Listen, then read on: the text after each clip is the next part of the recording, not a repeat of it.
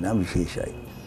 ඔවුන් තුන්දෙනගෙන් දෙදෙනෙක් ඒ කියන්නේ පුරෝගාමී ආනන්ද සමරකෝන් ඊළඟට මතුනේ සුනිල් ශාන්තයන් ඔවුන් දෙදෙනාම ශාන්තිනිකේතනයෙන් ඒ වගේම බහත්කණ්ඩෙන් දෙකෙන්ම සංගීත ශාස්ත්‍රය හදාරපු දෙන්නේ. අමරදේවයන් බහත්කණ්ඩේ සංගීත හදාරපු ගාන්ධර්වය. ඔවුන් තුන්දනා එක යුගයක් බිහිකරපු තිදනේ. ඔවුන්ගෙන් පස්සේ ගන්ධර්ව පරපුර ඇති වුණේ රජයේ සංගීත විද්‍යාලයෙන් බිහිවෙච්ච ගන්ධර්වයන්ගෙන්. රජයේ සංගීත විද්‍යාලයෙන් මුල්ම අවදී බිහිවෙච්ච සංගීතඥයන් අතරින් වර්තමානයේ විශිෂ්ට සංගීතඥයකු හා ගායකයකු වන දයාරත්ත නනතුන්ගයන් විශේෂයෙන් කැපී පෙනෙනවා. මං යෝජනා කලා ඒකාලිටෝ සභාවතතුමාට රටට විශාල සේවයක් කළ පැරණි ගායක ගායකාව. දැන් ඒමියුරාජ් එතකොට වසන්තා සඳනායක කෝගල දේවී වීරතුන්ග මේ අය දැම් මම ඉන්න කාලය වෙනට බොහෝ වයස්කතයි ඒගොලන්ට ගායනා කිරීමේ හැකේවන්නෑ. නොත් ආශාව තියෙනවා ආදායම් මාර්ගත් අඩුයි. මම සබත්තුමාට කතා කරලා ඒ කාලෙ විදියට එවන්න ලොක මුදල රුපයල් පන්සීකට එහා වගේ ගණනක් මාස් පතා ඒවලන්ට දෙන්න අපි සූදනම් කලා මොකද ඒ දෙන එක ඒගොලන්ගනුත් අපි කිසියම් සේවයක් කර ගත්තේ සේවය තමයි ඒගොලන්ට අපි කිව්වා වැඩසටාන් ශ්‍රවණය කරන්න. වැඩස්ටාන් ශ්‍රවණය කරලා ඒ හොඳ නරක. දියුණු කරන්න ඕනේ මොන විදියටද ඒවැ කිසියම් නොගලපන දෙයක් තිරෙන කො විදිහටද හදන්න ඕන. ඒවගේ වාර්තා ලබා ගත්තා අපේ. ඒ වාර්තා ලබාගෙන ඒ වෙනුවෙන් අපි හැම මාසම ගන්න රුපියල් පන්සේකතර මුදලක් දුන්න ඒ පැරණි ගායකයිකා. යන්නවට කීවේ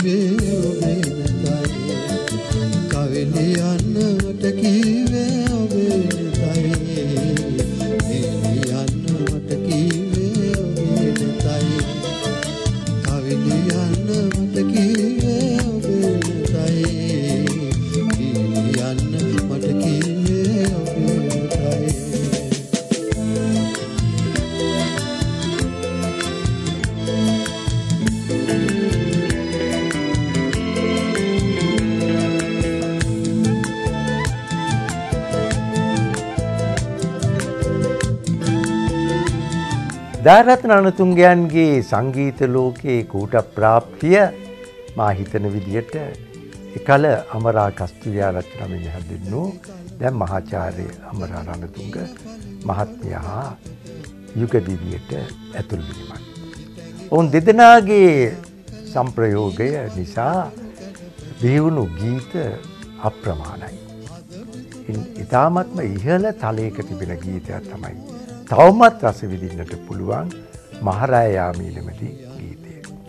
එහි ජන සම්ප්‍රදායත් රාගධාරී සම්ප්‍රදායත් දෙකම සම්මිෂ්ට වී පා. මම සංගීතවේදීක වශයෙන් බොහෝසයිල් මගේ පර්ේෂණ සංගීත පර්ේෂණ පිළිබඳව උනොද්දත් දක්වම නිසා රටවල් ගණනාවක් සමඟ සම්බන්ධතාවයන් පවත්වන්නට හැකි වුණා මොකද ඒවගේ පරීක්ෂණ කරන රටවල් වල අය මට ආරාධනා කළා විවිධ සාකච්ඡා සම්මන්ත්‍රණ සඳහා සහභාගීමට ලෝකයේ රටවල් ගණනාවට යන්න මට හැකි වුණාකින්.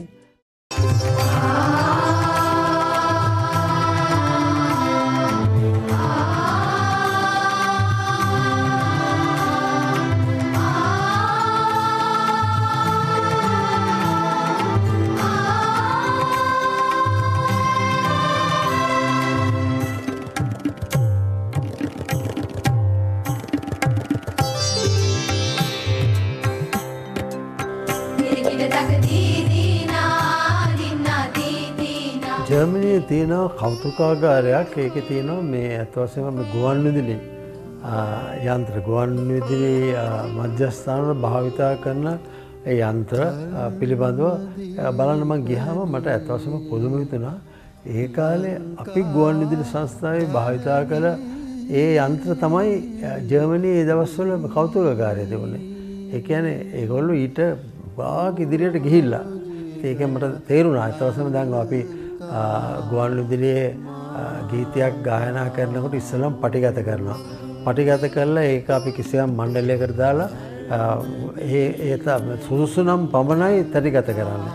තැටිගත කරාට පස්සෙත් ප්‍රචාරය කිරීම සඳහා තවත් මණ්ඩලයකට යොමු කරලා ඒ මණ්ඩලය ඇත්වසම් තීරණය කොළොත් ප්‍රචාරයට සුසුයි කියලා පමණයි අපි ඒ ප්‍රචාරය කළේ.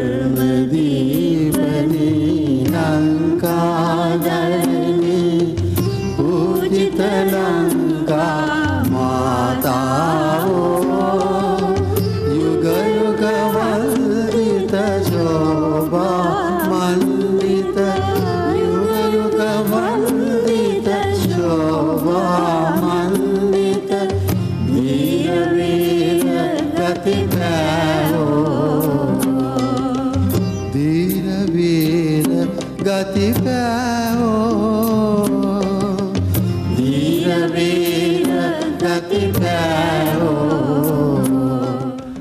නෙවිල් ජයවීර හිටපු ඉතාමත්ම දක්ෂ ඉතාමත්ම හොඳ සභාපතිවරේ ගුවන් ඉදිරිට නෙවිල් ජයවීර. ඒ කාලේ ඇත්වසම තමයි දැව හැත්තෑව දසක ගැන කවුරුත් කතා කරනවාන. ඒ කාලෙ තමයි අපි හිටිය මම හිටිය සංගීත අන්සය සංගීතා පර්ේෂණන්සය මගේ යටතේ අධ්‍යක්ෂක හැටියට මම ක්‍රියාකරපු කාලය ගැන තවමත් ගත් දෙන කතා කරන්න වර්ණා කරනවා හැත්තව දසක තම හොඳ කියෙන ඇතවසමික ඇත්ත.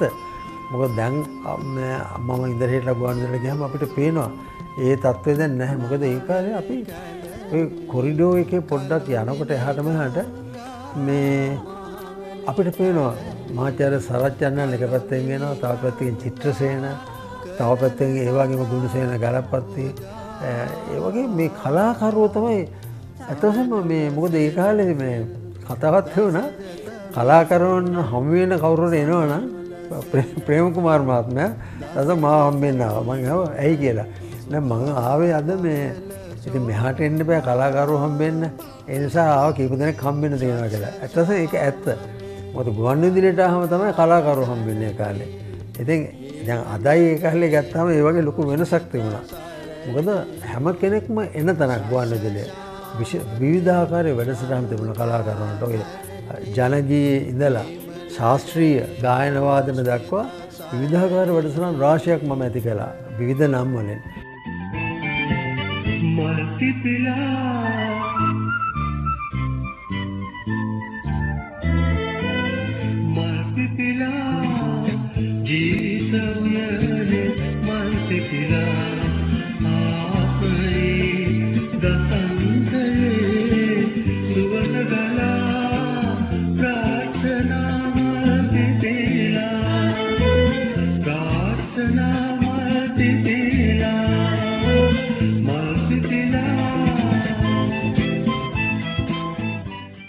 රජයේ සංගීත විද්‍යාලයෙන් බිහිවෙච්ච පරපුරේ ඉන්න ගාන්ධර්වයන් අතරින් දායරත්නයන් විශේෂ ගාන්ධර්ව කැටින් මං හඳුන්වන්නේ සමහරට උඟ දෙනේ දන්නේ නැති කාරණයක් තමයි ඔහු විද්‍යා අධ්‍යාපනය ලැබපු කෙනෙක්. දායරත්න රණතුංගයන් විද්‍යා අධ්‍යාපනය ලැබපු කෙනෙක්. ඉතින් විද්‍යා අධ්‍යාපනය ලැබපු කෙනෙකුට සංගීතඥයෙක් වෙන්න බැරි කමක් නැහැ. Uh, ඇල්බට් අයින්ස්ටයින් කියන්නේ මේ විශිෂ්ට ගණයේ විද්‍යාකින් ලෝක විද්‍යාකින් ඔහු ඉතාම දක්ෂ වයිලින්වාදයෙක් සංගීතඥයෙක්. ඉතින් විද්‍යාඥානය කිසිම බාධාවක් නැහැ. දයාට විශේෂයෙන් මේ විද්‍යාඥානය හුඟක් ප්‍රයෝජන වුණා.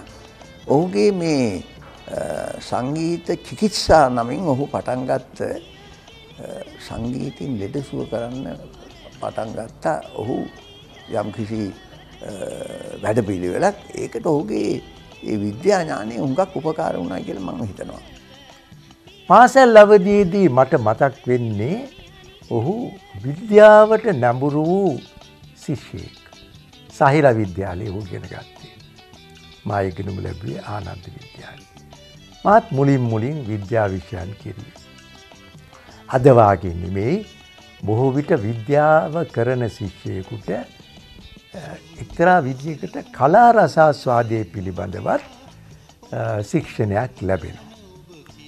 මට හිතෙනවා පසු කාලයේ සංගීත විශාරද ගායන විශාරද අ, කෙනෙකු වීමට දාරත්න රණතුංග ශිල්පියාට තමන්ගේ විද්‍යාඥානය බොහොම උපයෝගී වුණයි කියලා. ඒ ඥානය මම භාවිතා කරනවා මේ ආ, මගේ පරීක්ෂණ කටයුතු සඳහා. ඇති දැම් බං හිතන් දැම් මේ මේ වගේ පොතක් මියසික් මයින් තෙරප කියන මේ පොත මම ලිව්වේ මීට අවුරුදු පහලකට දාසකට තෙර පෙර. මුලින්ම ලංකාවට තෙරපි කියන එක චිකිත්සාව. සංගත චිකිත්සාව හොඳුල්ල දුන්නේ මම ඉතින් දැන් චිකිත්සාව ගැන මං ඇතවස මේ පොත ලියන වෙලාවේ මම මගේ ප්‍රාර්ථනය ඇති වන මොකද මේ සංගීත චිකිත්සාව කියන විෂය වෙනත් රටවලට මං ගියා මම දැක්ක වෙනත් විශ්වවිද්‍යාල ශිෂ්‍යෝ මේ ගැන හදාරණා මේවා ගැන පරීක්ෂණ ගන්න.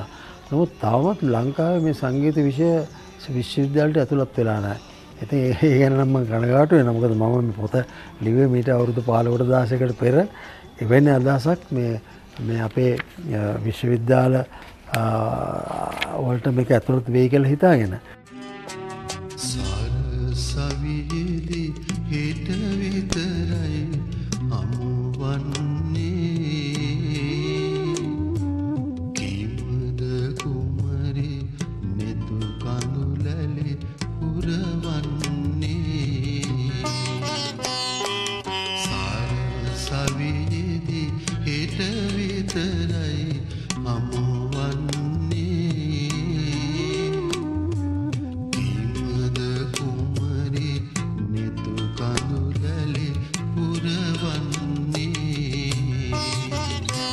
මම පොත් කීපයම මේ අ, පත් කල්ල තියෙන මේ ප්‍රකාශයට පත් කලා එකක් ජීවන අනුභූති අනිත් පොත මියසික් මයින් තෙරපි තව එකක් තියෙන පොල්නීසියාවේ නාදෝත්පාදක භාණ්ඩ. දැන් ඇත්තසම පොල්නීසියන් රටල්ලොට ගිය වෙලාවේ ඒගොල්ලු ඒ බාණ්ඩ භාවිතා කරන විවිධ අවස්ථා ගැනම පරීක්ෂණ කළා.